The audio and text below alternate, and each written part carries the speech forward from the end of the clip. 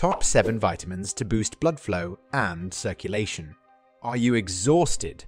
Can't seem to get rid of that lethargic feeling. We have the ultimate solution. It's not a cup of coffee, a snooze, or even a stroll around the park.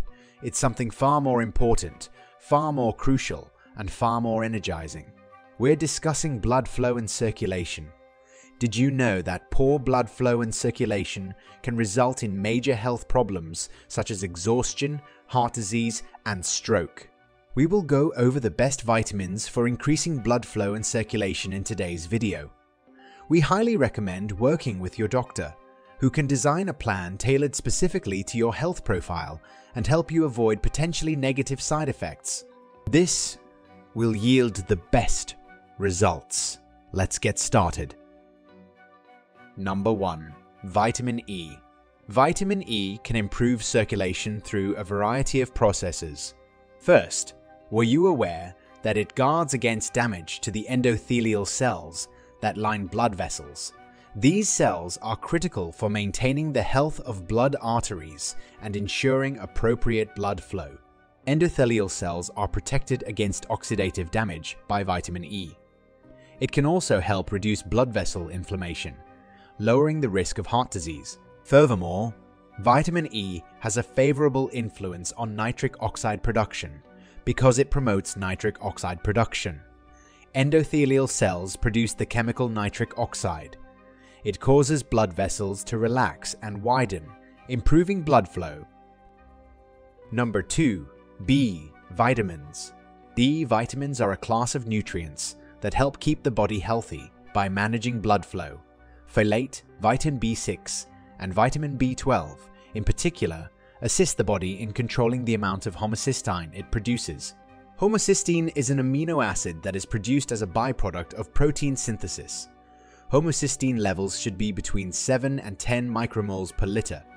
When homocysteine levels exceed this, the endothelium, or the lining of the blood vessels, is damaged. This increases your odds of developing atherosclerosis, blood clots, or coronary heart disease, all of which can increase your risk of having a stroke or developing dementia. Folate, vitamin B6, and vitamin B12 all work together to convert homocysteine into non-toxic amino acids such as cysteine and methionine. When these vitamins are present in sufficient quantities in the body, they can help keep homocysteine levels in a healthy range and protect the endothelium from harm. The recommended daily amount of vitamin B12 is roughly 3 micrograms, 2 milligrams of vitamin B6, and 400 micrograms of dietary folate equivalents.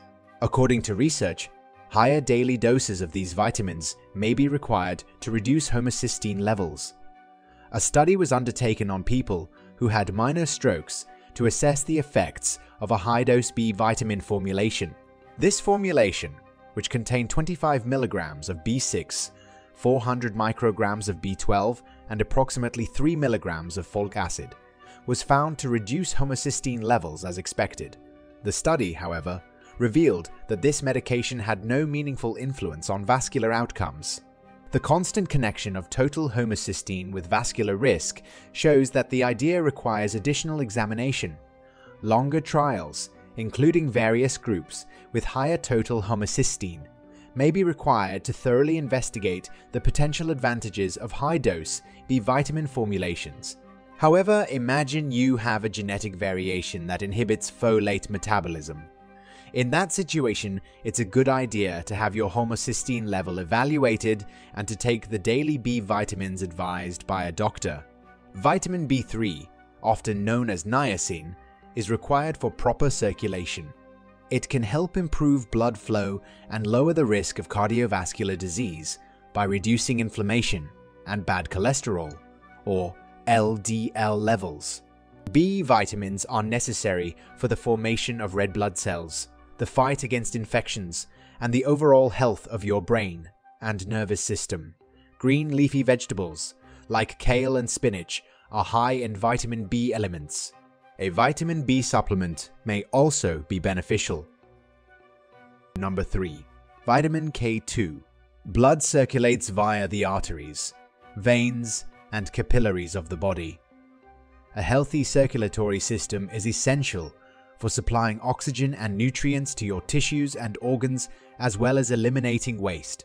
Blood clotting can occur as our blood circulates throughout the body, which vitamin K can help regulate. But did you know that a specific version of this vitamin, known as vitamin K2, is responsible for improved circulation? Vitamin K2, also known as menaquinone, is a kind of vitamin K that has been shown to improve circulation. It operates by activating a protein complex known as matrix GLA protein. As we age, calcium deposits can form in our blood vessels, narrowing and stiffening them. This can obstruct blood flow and raise the risk of cardiovascular disease. Vitamin K2, on the other hand, can help prevent this by activating MGP proteins, which transfer calcium out of the blood vessels and into the bones. This helps to keep the blood vessels open and flexible, allowing for greater blood flow. Vitamin K2 improves circulation, lowers the risk of dying from heart disease, and may be beneficial to brain health and sugar metabolism. The recommended daily allowance for vitamin K2 is 180 to about 360 micrograms. However, if you are using blood thinning medication, you should check with your doctor before taking this vitamin. Number 4 and 5 L-arginine and L-citrulline. These two amino acids are well known for their ability to improve circulation and cardiac function. L-citrulline is transformed into L-arginine in the body through a mechanism known as the L-arginine nitric oxide pathway, which stimulates nitric oxide synthesis. Increased nitric oxide levels improve blood flow and circulation, which has significant benefits for cardiovascular health. Nitric oxide reduces blood pressure through the dilation of blood vessels. This allows the heart to flow blood more efficiently throughout the body, lowering blood pressure. This can help protect the heart from the strain caused by high blood pressure. Another advantage of L-arginine and L-citrulline is that they increase peripheral circulation. The flow of blood through the body's smaller blood arteries and capillaries outside of the heart and brain is known as peripheral circulation. Nitric oxide affects smaller vessels as well, which can aid in vasodilation. Vasodilation is the widening of blood vessels that results in increased circulation. This can aid in the treatment of illnesses such as neuropathic pain and erectile dysfunction. Red meat, poultry, pork, dairy products, lentils, chickpeas, soybeans, and fruits, particularly watermelons, contain L-arginine and L-citrulline. However, acquiring enough of these amino acids from food alone may be challenging for certain people.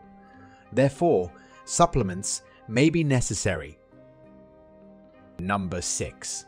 Vitamin D. Vitamin D is essential for strong bones, a strong immune system, and strong muscles. According to new research, vitamin D plays a role in heart and blood vessel health, including boosting blood flow. Those with low vitamin D levels are more likely to have cardiovascular problems, such as high blood pressure, heart attacks, and strokes. Vitamin D affects the amount of the vasoconstrictor hormone angiotensin, which raises blood pressure. Vitamin D also aids in the synthesis of nitric oxide and the reduction of blood pressure. Vitamin D can influence the levels of particular inflammatory indicators, such as interleukins and TNF-alpha, which are implicated in inflammation and blood vessel health. All of these elements contribute to good circulation Vitamin D is found in fatty fish, eggs, and mushrooms, but the majority of it is created by the body when exposed to sunlight. So try to enhance your vitamin D intake by getting more sun or taking supplements. Number 7. Antioxidants. Antioxidants promote healthy circulation by reducing oxidative stress and inflammation. When your body produces too many free radicals or not enough antioxidants, it can cause oxidative stress, which can damage cells and tissues and cause inflammation. Polyphenol, rich plant extracts, such as curcumin found in turmeric, are effective anti inflammatory medicines. They minimize blood vessel inflammation, increase blood vessel health, and promote improved blood flow. Turmeric also reduces platelet aggregation because curcumin prevents blood clot formation. Platelets are blood cells that help with blood coagulation. Platelets that agglomerate or stay together can create clots that obstruct blood flow. Turmeric also stimulates the production of nitric oxide. To reap these benefits, consume turmeric root, the dried spice, or 125 milligrams of turmeric extract. Like curcumin, another naturally occurring phytochemical, resveratrol, can enhance circulation. 30 to 100 milligrams of resveratrol per day, primarily found in grapes, berries, and peanuts, can have a major impact on your blood vessels. Natural ways to improve circulation. Aside from consuming vitamins and supplements to increase blood flow, you can improve your body's circulation by maintaining a healthy lifestyle that includes the following. Number 1. Exercise. This is one of the most effective ways to get your circulation flowing. Because the heart is at the center of the body's blood flow, having a healthy heart is essential if you want to achieve optimal circulation throughout your body. Number 2. Massage. A massage not only helps with stress management, but it also improves circulation through the lymphatic and circulatory systems.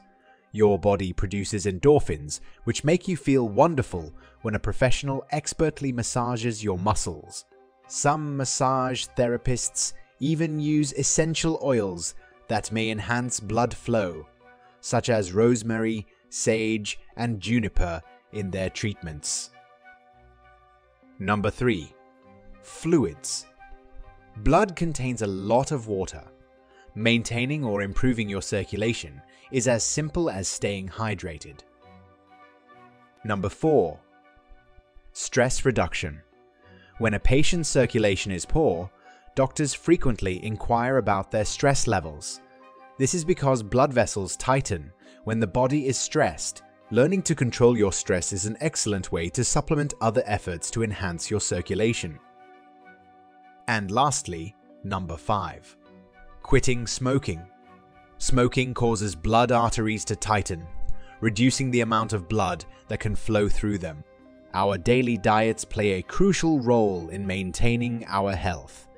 If you are looking for more food related videos, here are a few more to check out. Watch 5 Foods That Cleanse the Liver or try 14 Healthiest Foods with no carbs and no sugar. Go ahead, watch one or even better, both. What nutrients do you rely on for boosting your circulation? Tell us in the comments section below.